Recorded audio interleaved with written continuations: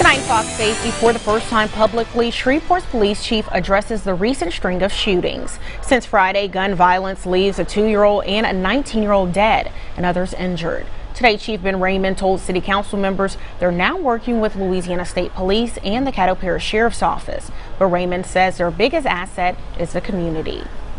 Prevent that crime, and that's going to take community involvement.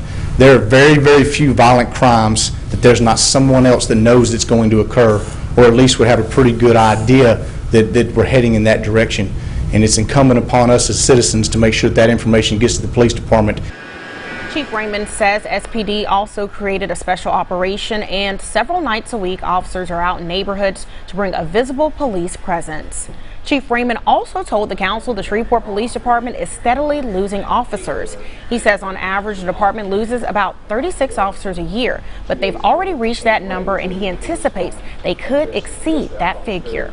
According to him, a large number of officers are resigning to go to other local agencies for better pay, and he believes raises are the only solution to keeping officers. So anything we could do to compete by keeping those trained officers here and also to try to draw officers from some of those other agencies to the Shreveport Police Department in the form of lateral transfers would be very beneficial. Raymond also told council members the department is in dire need of new police vehicles to replace its aging fleet. He would also like to start a digital forensics lab.